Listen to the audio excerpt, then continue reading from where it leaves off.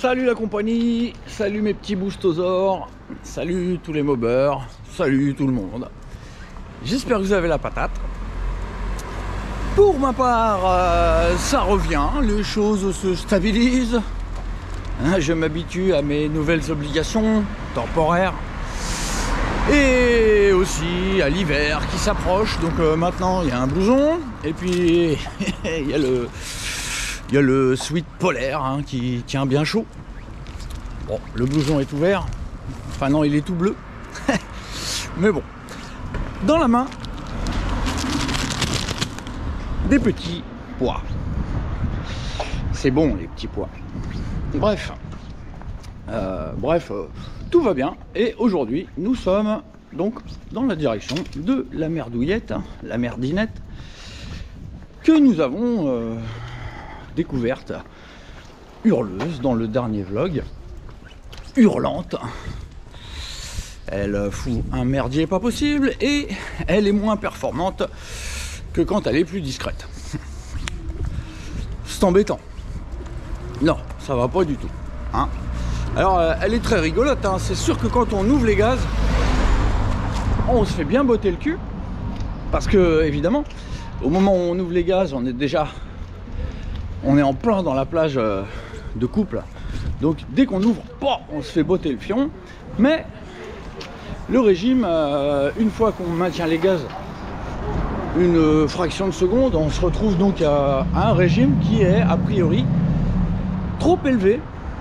Donc euh, pour les raisons que je vous ai expliquées, donc peut-être à cause de l'admission qui, qui est restrictive à ce régime, et peut-être aussi à cause du pot d'échappement. Donc dans tous les cas, là euh, les perfs avaient quand même bien chuté, hein. même si la vitesse finale n'était pas vraiment vraiment impactée, on avait quand même perdu a priori dans les 3 secondes de 0 à 100, ce qui est énorme. Mais pour autant, la vitesse finale n'était pas mauvaise, hein. on arrivait à 105 euh, km heure donc, bon, a priori, on aurait peut-être fait 107, mais on perdait 3 secondes au 0 à 100. Assez étonnant. Mais bon, c'est comme ça. C'est pas la première fois que je constate que sur une distance donnée, on peut perdre énormément de temps d'une certaine vitesse à une certaine vitesse, mais pour autant, la vitesse finale n'est pas très différente. Bon, c'est probablement mathématique, mais on n'est pas là pour faire des mathématiques, on est là pour bidouiller des pétoires et les faire booster. Donc, donc bah voilà, aujourd'hui on va essayer donc de, de viser un régime moteur euh, qui va être euh, plus adapté à notre configuration. Donc euh, en l'occurrence on avait j'avais allégé le variateur et c'était moins bien. Donc bah on va faire le chemin inverse, c'est-à-dire que malheureusement je me souviens plus exactement des réglages que j'avais avant d'alléger le variateur. J'ai une petite idée. Et ben dans tous les cas, voilà, je vais essayer de mettre plus lourd. Donc normalement, la machine va être encore moins bruyante qu'avant. Hein, ça va plus hurler euh, comme ça hurlait, Bon, on est encore très loin des vrais, entre guillemets, moteurs hybrides euh, avec des cylindres liquides, euh, hyper rassinges. Mais bon, donc là on va, on va repartir dans le, dans le, bruit d'une mobilette habituelle, hein, euh, vu qu'on va reprendre un régime assez raisonnable. Allez, je sors la pétoire et changement de poids. A tout de suite. La starlette des mobilettes du moment. La merdinette avec son moteur euh, innovateur, son moteur innovant, hein, qui donc inaugure euh, probablement euh, beaucoup de petits frères comme celui-ci. Donc des moteurs basés sur un cylindre de scooter Piaggio. Pourquoi avoir choisi un cylindre de scooter Piaggio plutôt qu'un Noveto ou Neos, tout simplement parce que euh, les cylindres Doveto Neos ne sont pas symétriques comme vous pouvez voir là, eh ben, le cylindre, il y a autant d'ailettes d'un côté que de l'autre. Ce qui n'est pas le cas du Neos et de l'Oveto, qui sont donc, comme je viens de vous le dire, des nitros à refroidissement à air. Voilà pourquoi mon choix s'est porté sur le cylindre Piaggio, parce que tout simplement, voilà, il a un cylindre symétrique, donc qui refroidit aussi bien d'un côté que de l'autre, ce qui n'est pas a priori le cas du Neos. Mais je n'ai pas testé les cylindres de Neos Oveto. On verra. Peut-être que par la suite, euh, on fera des tests pour voir ce qui se passe avec des cylindres non symétriques. Donc des moteurs qui ont quand même, euh, même si euh, le refroidissement n'est pas, n'est pas symétrique, peut-être que c'est tout à fait fonctionnel. Hein. Peut-être que ça refroidit un peu moins bien d'un côté du cylindre et on aurait peut-être 10 degrés de plus d'un côté que de l'autre. Ce qui serait pas vraiment la fin du monde. Hein. Donc on n'a qu'à voir avec celui-ci, ça refroidit très très bien. On est sous 110 degrés pour le moment. Donc euh, c'est tout à fait acceptable. Si on avait 130 d'un côté et 110 de l'autre, ce serait pas forcément super gênant. En tout cas, esthétiquement, euh, voilà, on a un, moteur qui est quand même plus sympa euh, avec un ailetage symétrique. Voilà, bon, maintenant, donc, euh, bah écoutez, moi j'ai commencé le job, donc j'ai cherché dans mon tas de, petits pois et gros pois. Et euh, bah écoutez, on va repartir sur ça. Je pense que je pense que j'avais moins de points que ça avant, de poids que ça avant. Là, je suis vraiment, c'est vraiment le maxi que je puisse trouver dans dans mon tas de poids. Hein. Il y là vraiment c'est extrêmement lourd. Donc j'ai eu un petit peu peur avec ces poids cylindriques. Hein. J'ai eu, j'ai craint que la joue mobile ne vienne toucher sur les angles, étant donné que sur cela c'est chanfreiné et que moi j'ai conçu euh, le variateur boost pour ce type de poids là. Donc euh, j'ai déconseillé à des clients d'utiliser des poids de ce type, euh, des types cylindriques, parce que ça pouvait coincer la joue mobile. Mais je viens de faire la vérification et ça ne... Bon, a priori, ça vient, ça vient toucher. Mais euh, bon, c'est pas, c'est pas non plus la fin du monde. Hein. Ma courroie descend quand même bien au fond. Donc, euh, donc il n'y a pas de problème. Donc, même avec ces poids-là, ces poids énormes, et ben a priori, le variateur s'ouvre, enfin s'ouvre bien. Oui, c'est ça. ou se ferme bien. Il y en a qui disent un variateur s'ouvre en roulant il y en a d'autres qui disent il se ferme. Donc, euh, bah voilà, on va dire. Moi, je vais vous dire qu'il se ferme bien. Voilà, là, il est fermé. Et là, le vario, il est ouvert. Voilà, pour moi, c'est dans ce sens-là. Donc, euh, on est bien. La courroie descend bien. Mais alors là, on va être vraiment chargé euh, comme un âne. Hein, donc, donc, lors du dernier vlog, ah, je me suis trompé de poids, c'était pas celui-là, c'était un moyen. Voilà, c'était ça. Ah oui, non, c'est là que j'ai daubé. Non, c'est ça. Et puis, c'était ça. Voilà. Donc là, lors du dernier vlog, on avait ça. On avait ces quatre-là. Et on va passer donc à ces quatre énormes.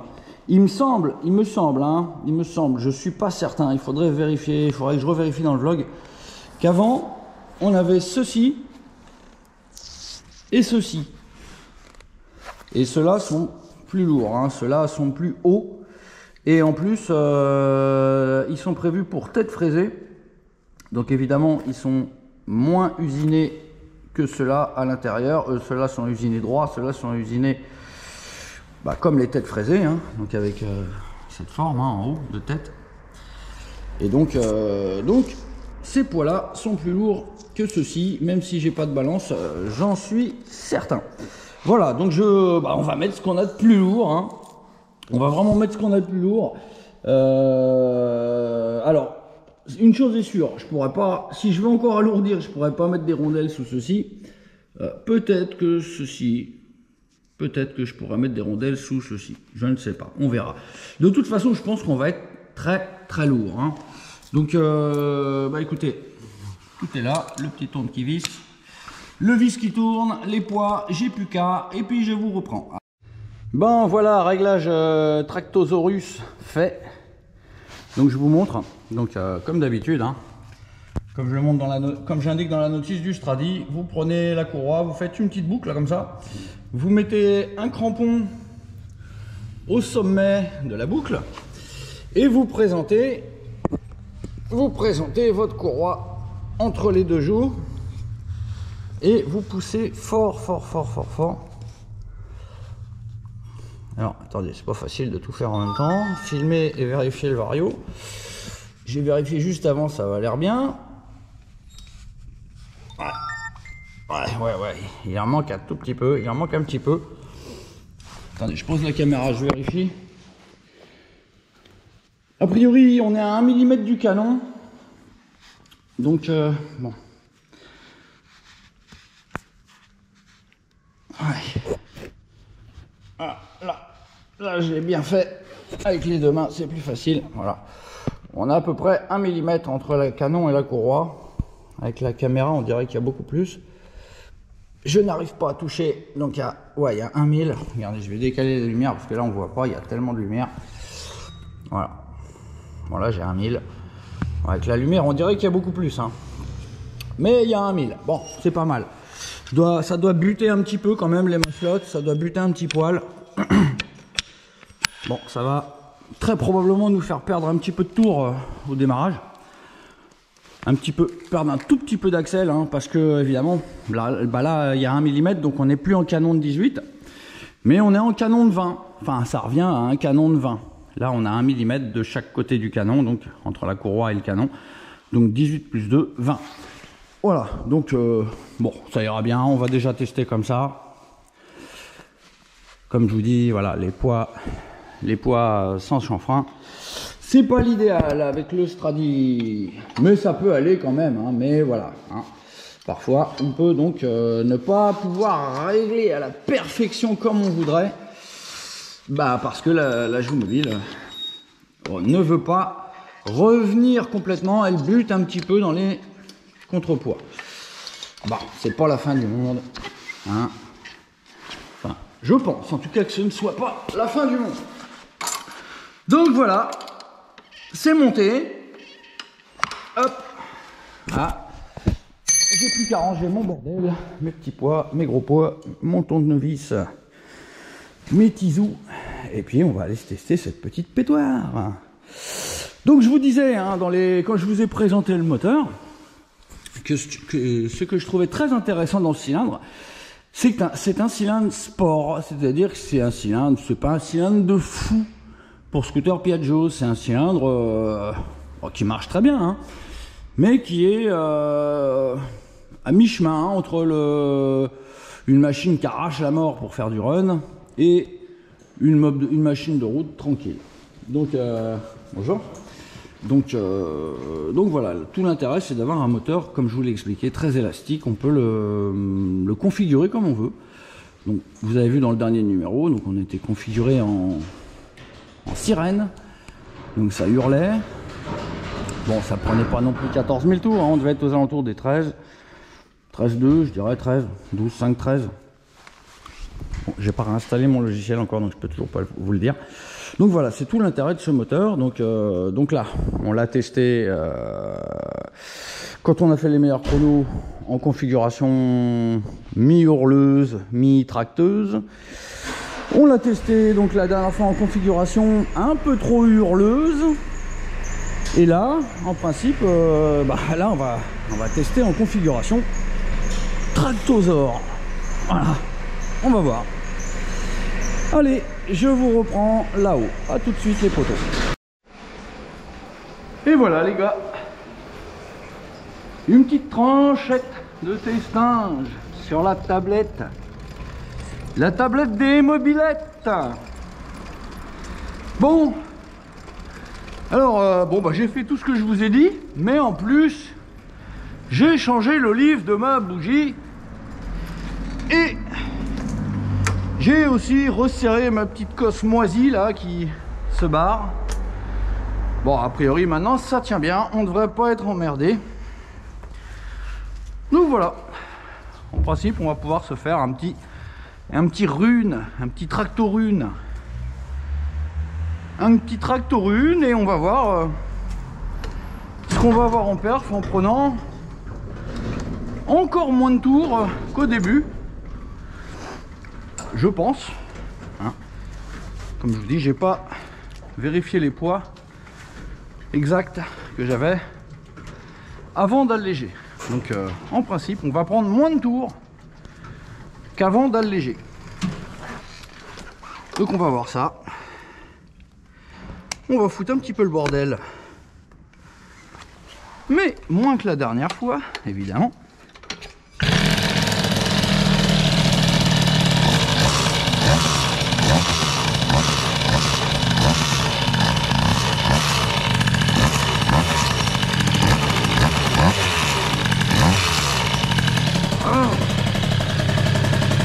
Bah allez hein.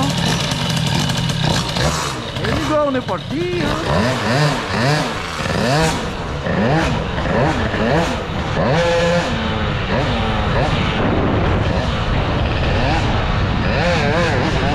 Ah ouais Ah ouais ça tracte en bas, il n'y a pas à chier.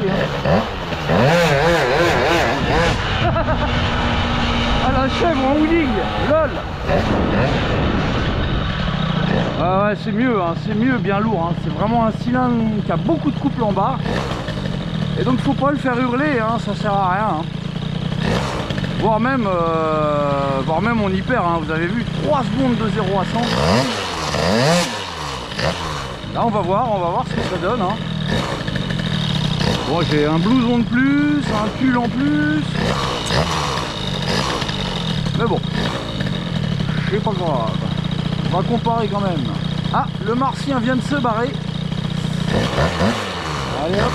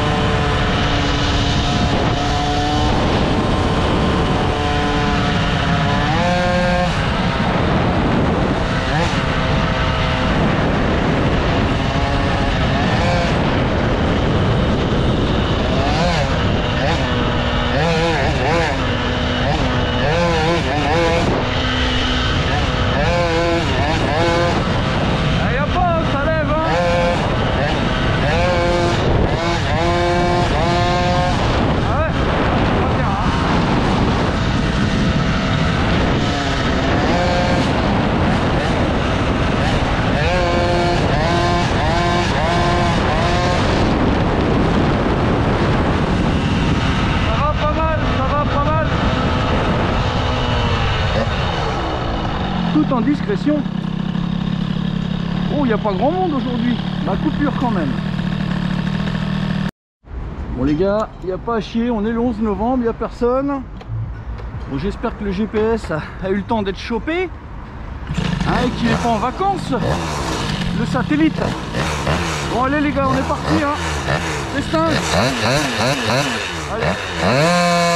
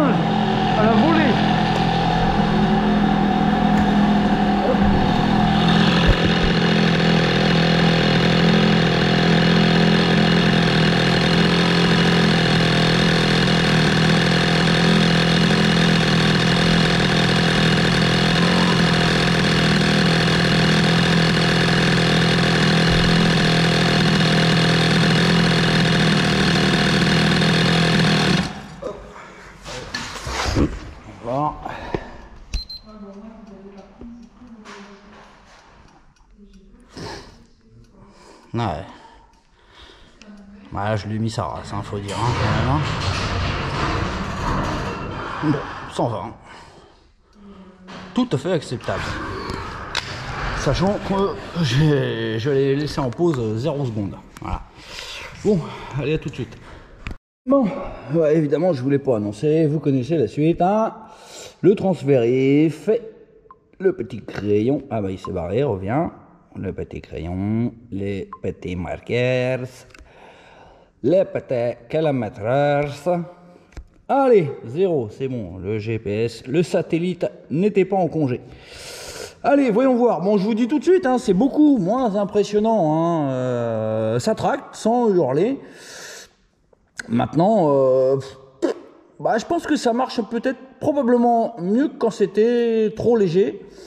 Maintenant, je sais pas. Allez, on va voir. À tout de suite. De toute façon, j'ai dû freiner. Hein, il y avait, vous avez vu, il y avait une camionnette dans le rond-point. Et voilà, j'ai pas, pas pu planter le freinage de la mort.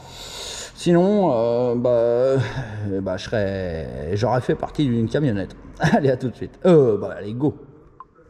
Bon les gars, il n'y a pas à chier, on est le 11 novembre, il n'y a personne. Eh oui mon petit. J'espère que le GPS a eu le tu temps bosses. d'être chopé. Tu bosses toi. Ah, et qu'il est pas en vacances. Allez, on voit. Le satellite. Bon allez les gars, on est parti hein.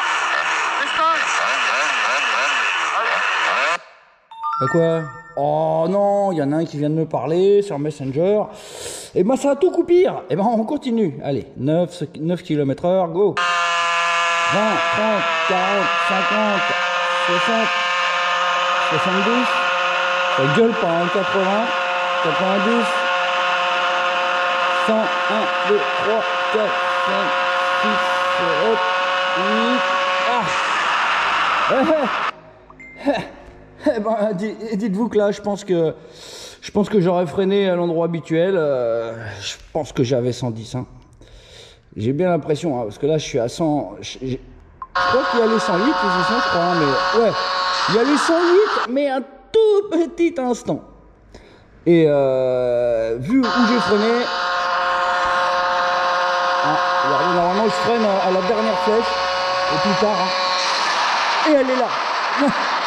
Donc là, euh, bah, bon, allez, cut, cut, cut, cut, cut, hein. Dévissage, vous savez, vous savez quelle heure est venue, hein, vous savez ce qu'on va faire tout de suite, euh, tous ensemble. Hmm. On va faire quoi? Hein, On va faire quoi? On va faire quoi? Allez. On va faire. Allez, allez. On va faire le débriefing. Oh.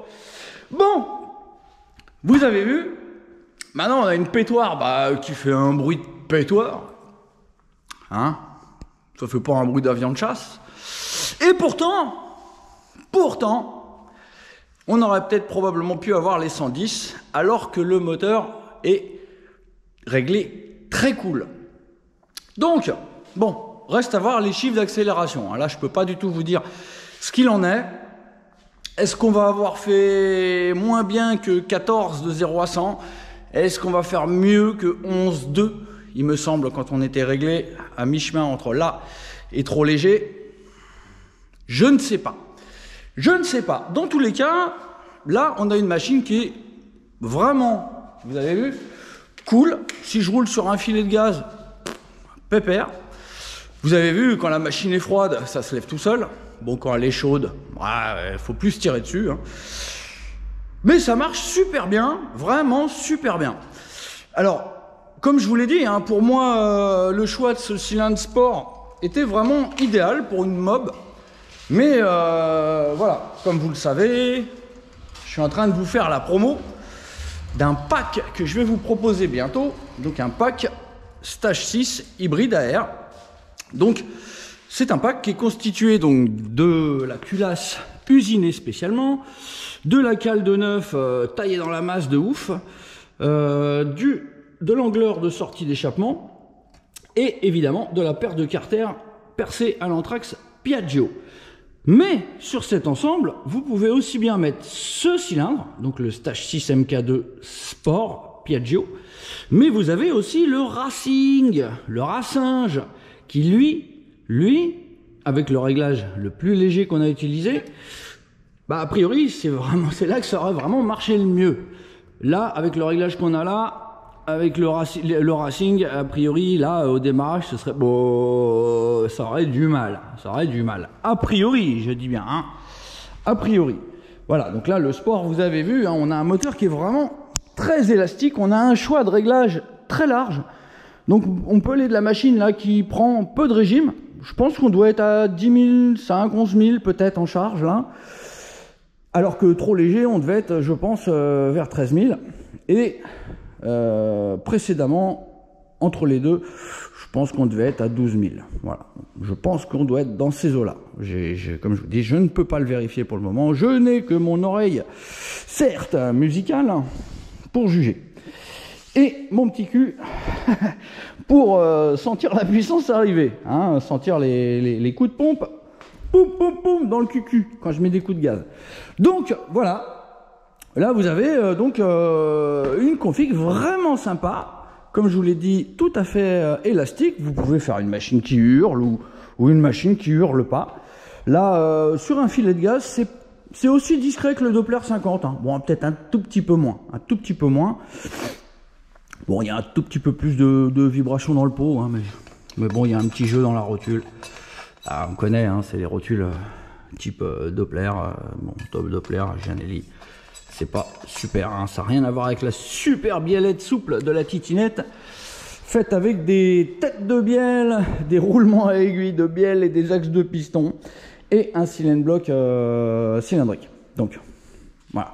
Donc bon, Là, on a vraiment une config excellente. Vous avez vu, hein. je vais pas me répéter.